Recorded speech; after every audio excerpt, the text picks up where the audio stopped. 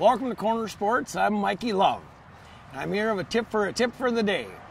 There's one thing in a boat that I'd like to sit and talk about really quick is electricity.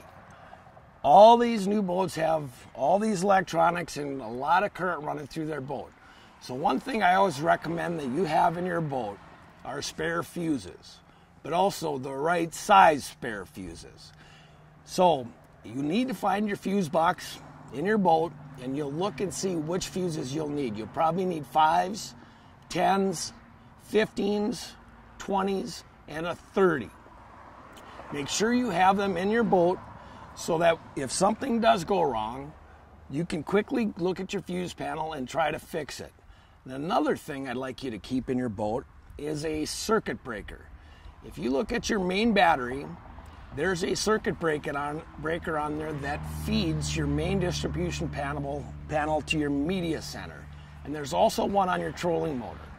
I suggest everyone keep at least one spare in their boat so if they're on a trip up to Canada and it fails on them, it's an easy fix. I'd also like to talk about the fuses in your big motor. There are two fuses in there that are there for a purpose. So if there's any back feed current that goes into that motor, they're meant to blow. And I'd like to help you with that, but depending on your motor, you might have to give me a call or swing on into Corner Sports and we can hook you up so that you have spare fuses for every fuse you need in your boat. So when you're on that fishing trip, a $1 fuse is not going to wreck that trip. You're going to be fishing, you're going to be saying, get the net, get the net, and you'll be sitting at the campfire that night talking about the day, fun day you had. So once again, this is Mikey Love from Corner Sports. Hope you have a good summer and wonderful fishing.